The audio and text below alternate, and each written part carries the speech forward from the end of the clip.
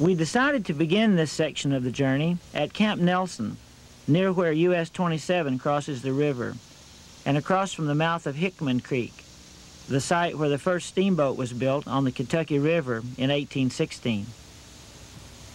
On the bluffs just above the creek, a regiment of black Union artillerymen manned the battery throughout the Civil War. It's an historic spot used as a crossing point for centuries, with natural cuts through the cliffs on either side of the river. From here, we plan to run one of the most beautiful sections of the river, about 56 miles down to Clifton, Joe's home. Then another 13 or so miles on to Frankfort and lock number four.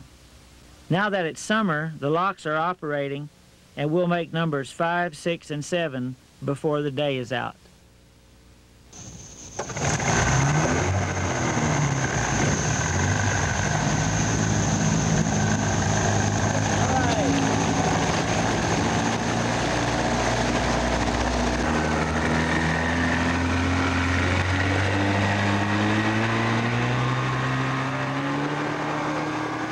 The first bend downriver from Camp Nelson shows you that you're deep in the Palisades region and that the scenery is going to be magnificent.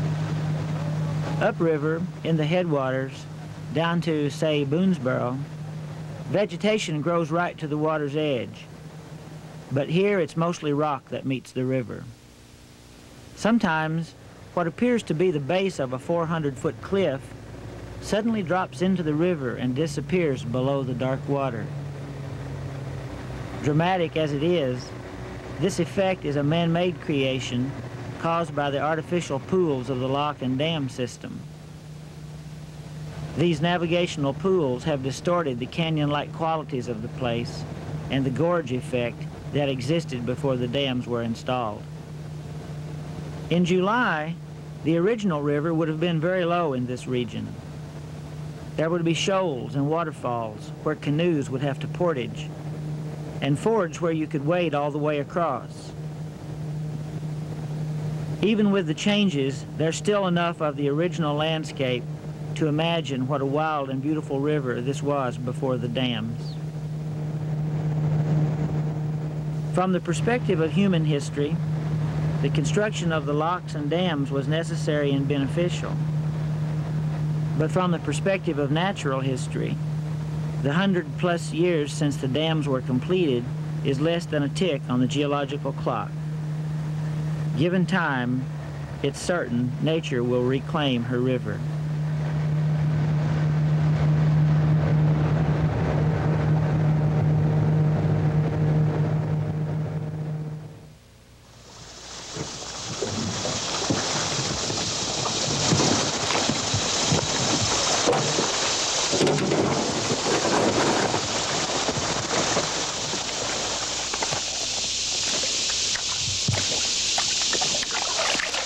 You ever see a? No. What's that?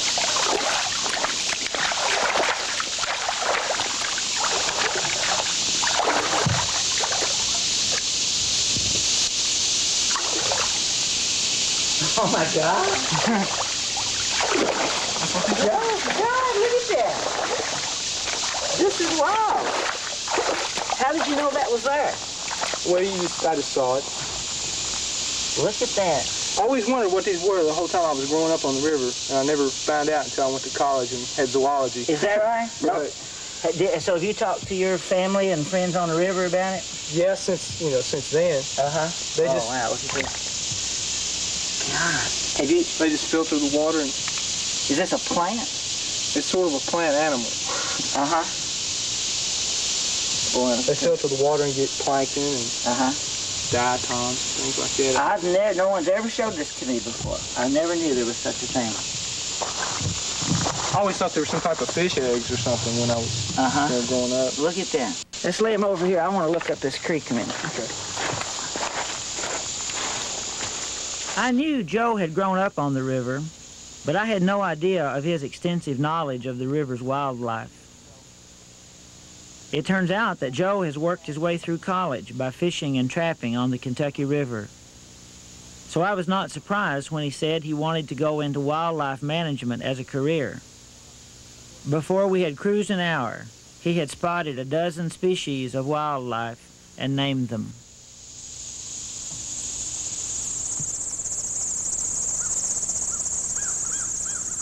The lure of the river gorge is so powerful, especially with a guide as knowledgeable as Joe, that you almost forget what's at the head of these creeks, on top of the cliffs in this region. It is the Bluegrass Plateau. And up on the plateau, you're hardly aware there's a river nearby. Not a clue until you work your way through a dense tree line to the edge of a rock outcropping.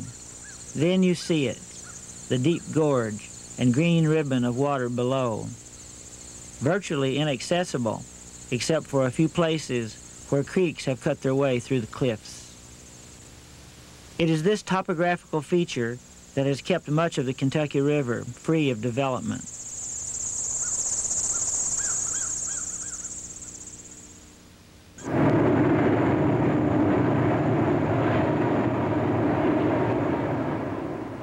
As deep inside the past and canyon itself as you feel, and however far back in time you may imagine yourself, the sudden appearance of a bridge always yanks you forcefully back into present time. When I took my first canoe trip on the Kentucky River 30 years ago, there were no interstate bridges whatever in the 100 miles between Valley View and Frankfort. But High Bridge was there, in the late 50s and well before.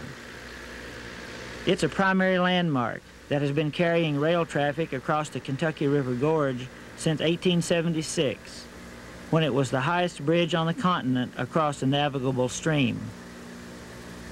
That claim was broken long ago. From its higher vantage, you can see where the Dix River flows into the Kentucky just upstream of the bridge. This was a major staging point for the flatboat trade in the early 19th century. Just below the bridge is Shaker Landing, where the excursion boat Dixie Belle now ties up.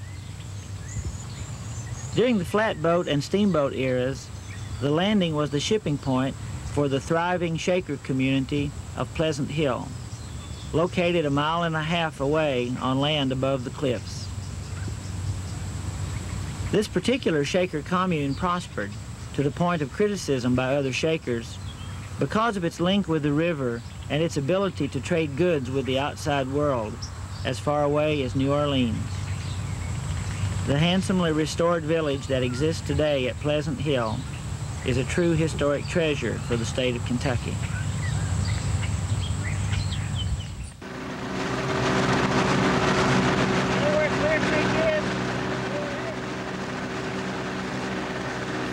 As we cruised slowly up Clear Creek, our final diversion of the day before reaching Joe's home at Clifton, my thought was that people like Joe, who actually live on the river and experience it as part of their daily lives, are the river's true citizens and best friends.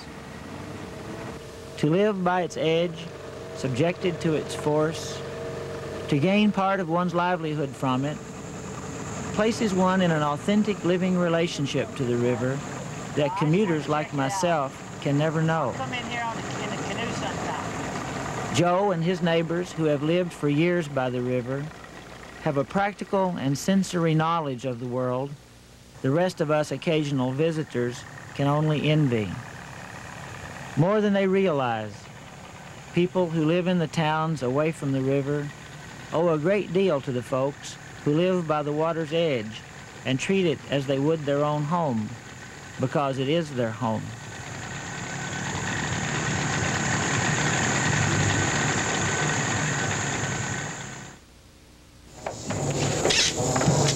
Clifton Boat Dock and the beginning of our final 13 miles for this section of the river. For these last few miles, We've hitched a ride with Charles and Alice Hobson of Frankfort. They've been boating on the Kentucky River for more than 30 years. Okay. Turn line.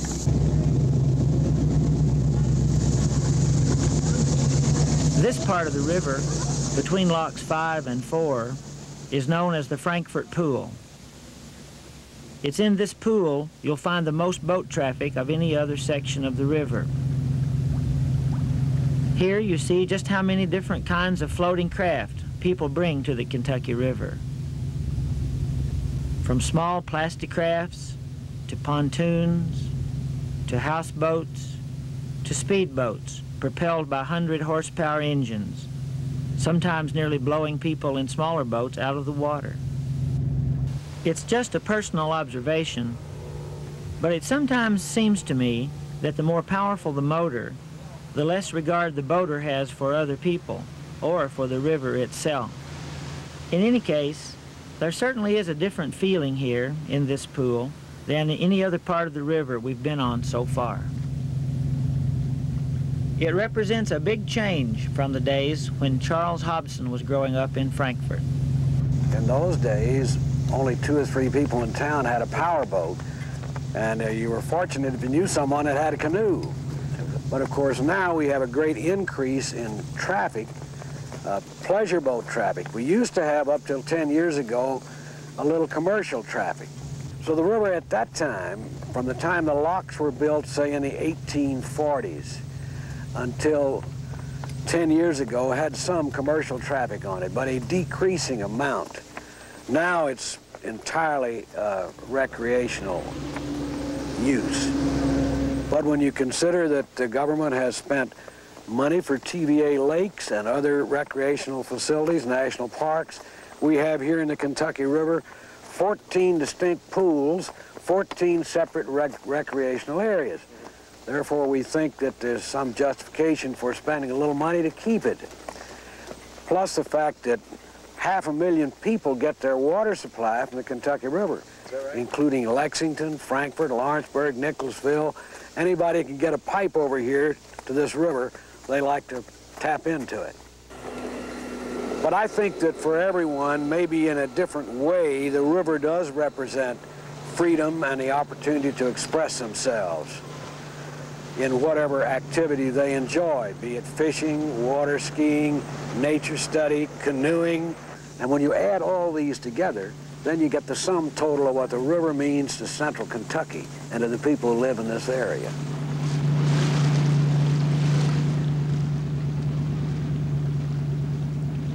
Within a few hours of leaving Clifton, we arrive at Frankfort, the state capital, and the only full-fledged city located directly on the Kentucky River.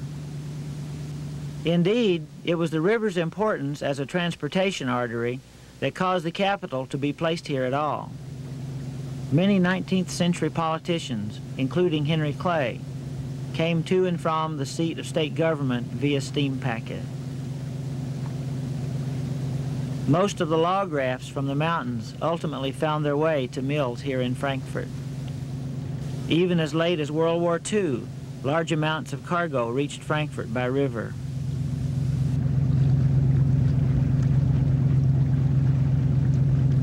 But mainly for Frankfort citizens, as for most other people, the river is a place to play. Certainly I've enjoyed my summertime outing in the Frankfort pool, different as it is from any other section upstream, and different also from the river that lies below lock number four. But my travels downstream will have to wait till next fall.